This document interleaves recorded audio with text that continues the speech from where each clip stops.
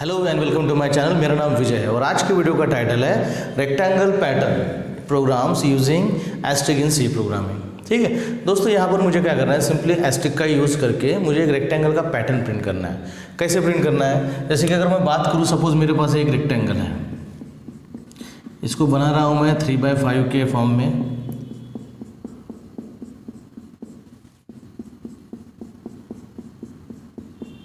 ठीक है, अगर आप देख रहे होंगे, देखिए, यहाँ पे तीन रो तीन रो है और फाइव कॉलम्स है। ठीक है तो ये एक रेक्टेंगल पैटर्न हो गया, इसे हम कहेंगे सॉलिड रेक्टेंगल ठीक है, इसे प्रिंट करना काफ़ी आसान है। क्या करना है? सिंपल सिंपल मुझे जो है, सारे लूप जो है, यहाँ पे एग्जीक्यूट कर देना है। मतलब मैं बोलूँगा, कितने रो है? तीन रो है। So for I is equal to one I less than equal three I plus plus ठीक है, चलो, अब यहाँ पे बोलूँगा फॉर कितने कॉलम है? पाँच कॉलम है so J is equal to one J less than equal five J plus plus ठीक है? और यहाँ पे सिंपली मैं क्या करूँगा? प्रिंट एफ़ एस्ट्रिक ठीक है? फिर ये जो खत्म होने के बाद में रो मुझे चेंज करना तो यहाँ पर एक मैं स्लैशन लिख दूँगा।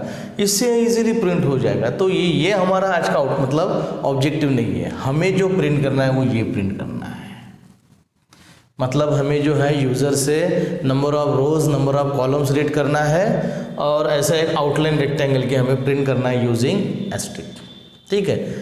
दोस्तों, काफ़ी आसान प्रोग्राम है, सिर्फ़ यहाँ पे हमें कुछ कंडीशन चेक करनी है, क्योंकि यहाँ पर हम क्या करने वाले हैं, हमें सारे एस्ट्रिक प्रिंट नहीं करना है। दोस्तों, यहाँ पे हमें डिसीज़न लेना है कि कौन सा एस्ट्रिक हमें प्रिंट करना है और कौन से प्रिंट नहीं करना है। ठीक है? तो अब क्या करेंगे हम? आइए, इसे हम शुरू से देखते हैं थोड़ा सा। अगर मैं यहाँ पर प्रोग्राम लिखना शुरू कर दूँ ठीक है तो यहाँ पर मैं बोल रहा हूँ कि main integer i comma j फ़िलहाल हम इसको ही लिखते हैं। Number of rows number of column हम बाद में लिखेंगे, बाद में रीड करेंगे। फिर यहाँ पर मैं क्या कर रहा हूँ? For i is equal to one i less than equal to अब यहाँ पर मैं नंबर ऑफ़ रोज कंसिडर कर रहा हूँ। सपोज़ थ्री और आई प्लस प्लस फिर यहाँ पर मैं कॉलम के लिए लूप लिखूँगा। For j is equal to one j less than equal to five column ले रहा हूँ मैं। फाइव जे प्लस प्लस और यहाँ पर मैं क्या कर दूँगा? यहाँ पर मैं लिख दूँगा प्रिंट एफ़ प्रिंट एफ़ और यहाँ पर लिख दूँगा मैं एस्टिक को मुझे क्या करना है? प्रिंट करना है। ठीक है? ये हो गया मतलब ये वाला फॉर लूप फिर यहाँ पर हम क्या करेंगे? ये फॉर लूप खत्म होने के बाद में अब मुझे क्या करना है? नेक्स्ट रो पे जाना है सो यहाँ पे लिखूँगा प्रिंट टैब स्लैश एन ठीक है, यहाँ पे हमारा हो गया रो वाला लूप खत्म और यहाँ पर हमारा मेन खत्म. इस प्रोग्राम को अगर हम रन करेंगे तो हमें जो आउटपुट मिलने वाला है, वो ये मिलने वाला है. चलो देखते हो भी कैसे मिलने वाला है. I is equal to one one less than three condition true मतलब ये वाला पार्ट एग्जीक्यूट होगा. फिर j is equal to one j less than five condition is again true this part will be executed फिर क्या print होगा यहाँ पे? एस्ट्रिक कितनी बार प्रिंट होगा? क्योंकि ये लूप पाँच बार एग्जीक्यूट होगा तो ये प्रिंट भी पाँच बार एग्जीक्यूट होगा। तो हम बोलेंगे यहाँ पे एस्टिक प्रिंट होगा। पाँच बार। अब क्या होगा? जे की वैल्यू सिक्स हो जाएगी तो फिर मैं ये लूप खत्म हो जाएगा। यहाँ पे होगा नेक्स्ट रो पे चला जाऊँगा। आई की value two two less than three condition true again ये पार्ट एग्जीक्यूट होगा। अगेन ये लूप कहाँ से शुरू होगा? वन से लेकर तो फाइव तक। मतलब फिर से ये वाला पार्ट एग्जीक्यूट होगा। यहाँ पे मैं कोई कंडीशन चेक नहीं कर रहा हूँ। यहाँ पे सिंपली जो है, मैं प्रिंट करते जा रहा हूँ। ठीक है। ज़रूर नहीं दोस्तों, यहाँ पे आपने जो नंबर ऑफ़ रोज जो थ्री लिया आपको भी थ्री लेना है, ये हम रीड करेंगे। ये जब हम प्रैक्टिकली इसको हम परफॉर्म करेंगे, तब मैं यहाँ पे जो है नंबर ऑफ़ रोज और नंबर ऑफ़ कॉलम यूज़र से रीड करूँगा, ठीक है? अभी सिर्फ़ हमारे समझने के लिए मैंने स्टैटिक वैल्यूज़ यहाँ पर ले ली है। तो दोस्तों, अभी जो है हमने अभी सॉलिड रेक्टेंगल प्रिंट किया अब मुझे रेक्टेंगल कैसा प्रिंट करना है? मुझे ये वाला रेक्टेंगल प्रिंट करना है।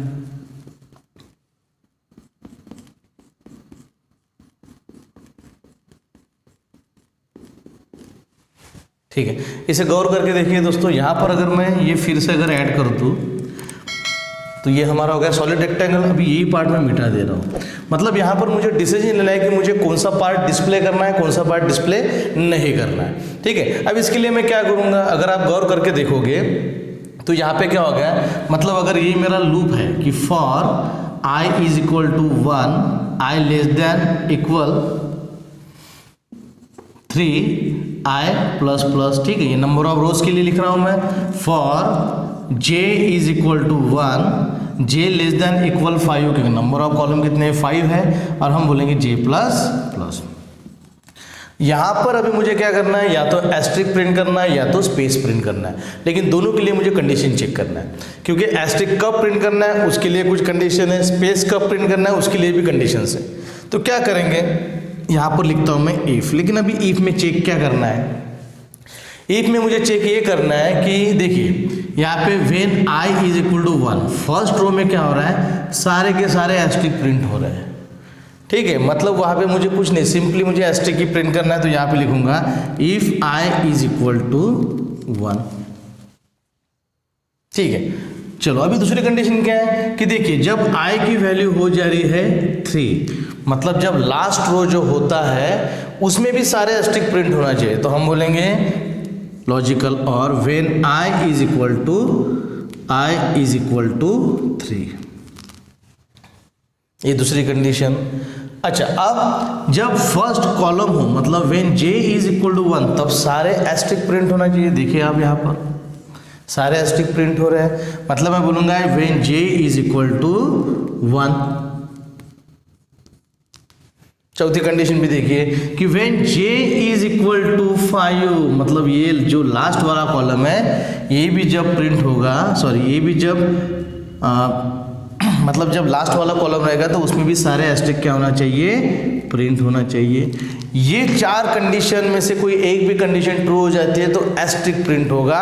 अदरवाइज़ मतलब यहाँ पर मैं कर दूँगा प्रिंट एफ़ एस्ट्रिक ठीक है, और एल्स में हम क्या लिखेंगे?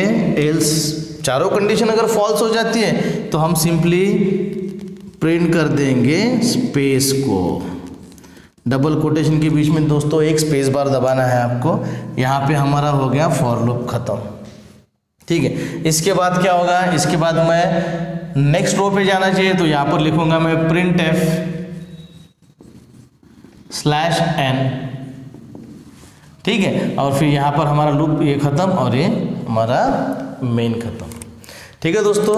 अच्छा यहाँ पे अभी और एक चीज़ गौर करने लायक ये है कि ये जो थ्री है, ये जो फाइव है, क्या हमेशा यही लिखना है? नहीं लिखना है। ये थ्री जो हम ले रहे हैं, इसका मतलब ये नंबर ऑफ़ रोज रहेंगे। तो यहाँ पर सपोज़ आप एम भी ले सकते हो। ठीक है?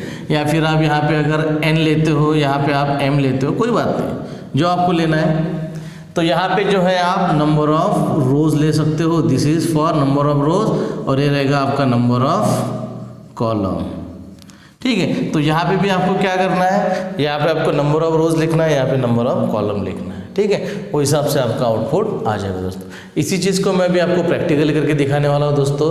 आई होप ये वीडियो आपको समझ में आऊँगा. ठीक है? चलिए इसे करते हैं आप प्रैक्टिकली हेलो एंड वेलकम दोस्तों, अभी जो हमने बोर्ड पे देखा है, वही प्रोग्राम हम यहाँ पे प्रैक्टिकली करके देखने वाले हैं. ठीक है, जैसे कि इंटीजर आई कॉमा जे फिर एम और फिर एन ठीक है एन एक्चुअली जो है मैं प्रोग्राम के हिसाब से अगर जाऊँ तो एन मैं रो के लिए यूज़ करूँगा और एम मैं कॉलम के लिए यूज़ करूँगा। ठीक है, चलिए यूज़र से हम इनपुट को रीड करते हैं। एक मैसेज हम डिस्प्ले कर देते हैं यूज़र को कि enter number of rows number of rows and columns ठीक है, फिर यूज़र यहाँ पे जो भी वैल्यू एंटर करेगा तो वो पहले एंटर रोज करेगा तो हम पहले एन में उसको स्टोर कर देंगे। ठीक है तो यहाँ पे मैं लिख रहा हूँ परसेंट डी परसेंट डी ठीक है तो यहाँ पे अगर आप एम को रोल करना चाहते थे एम को कर सकते हो। चलो, ठीक है, हम करेंगे। M percent m m percent n अब क्या करेंगे? अब हम कर देते for i is equal to one i less than equal m i plus plus ठीक है? चलो, ये हो गया रो के लिए। अब कॉलम के लिए लिखते हैं for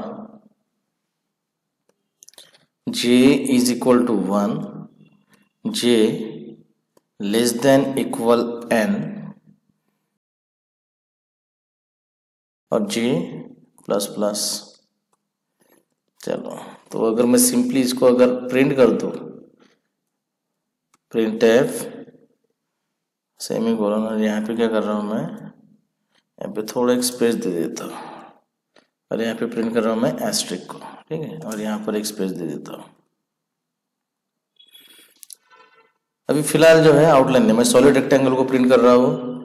कोई कंडीशन चेक नहीं करूँगा सीधा सीधा यहाँ पे प्रिंट कर दूँगा सो प्रिंट एफ़ हमें क्या करना है यहाँ पे? स्लैशन लिखना है। ठीक है, इसे मैं कंपाइल कर देता हूँ। कोई एरर नहीं है। ठीक है। चलो enter number of rows and columns तो मैं पहले एंटर करूँ नंबर ऑफ़ रोज थ्री और नंबर ऑफ़ कॉलम्स फाइव देखिए दोस्तों, यही हमारा सॉलिड रेक्टेंगल है। लेकिन मुझे अभी क्या करना है? मुझे आउटलाइन प्रिंट करना है इसकी मतलब हॉलो रेक्टेंगल प्रिंट करना है। चलिए, अब क्या करना होगा यहाँ पे मैं कंडीशन लिख देता हूँ। कंडीशन क्या लिख दू? यहाँ पर लिख रहा हूँ कि इफ़ चार कंडीशन यहाँ पे मुझे देना है कि अगर पहला रो होता है तो मैं बोलूँगा if i is equal to one ठीक है? फिर हम यहाँ पे लॉजिकल और चेक करें, फिर हम बोलेंगे i is equal to last row तो कैसे चेक करेंगे? I is equal to n sorry m फिर हम नेक्स्ट कंडीशन क्या चेक करें कि अगर फ़र्स्ट कॉलम होता है तो हम बोलेंगे j is equal to one और फिर हम बोलेंगे यहाँ पे j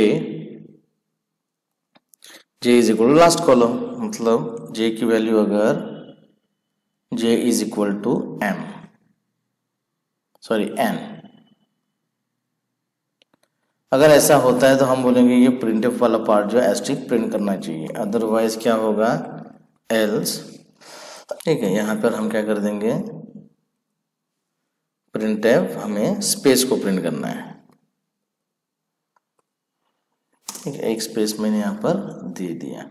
दोस्तों, मुझे यहाँ पे मैं कोई स्पेस नहीं दे रहा हूँ, ठीक है? क्योंकि आउटपुट में थोड़ा चेंज जाएगा तो यहाँ पे कोई स्पेस नहीं देना है मुझे प्रिंट टाइप में, ठीक है? अभी इसे हम कंपाइल कर रहे हैं। और इसे मैंने रन कर दिया। देखिए थ्री बाय फाइव आ गया हमारा आउटपुट ठीक है, चलो और कोई नंबर ऑफ़ रोज हम लेके देखते हैं। सपोज़ मैं बोलूँगा फाइव बाय फाइव देखिए आप, ठीक है नंबर ऑफ़ रोज देखिए कितने नंबर ऑफ़ कॉलम्स देखिए कितने, ये हमारा आउटपुट है। ठीक है दोस्तों तो मिलते हैं अगले वीडियो में। Thanks for watching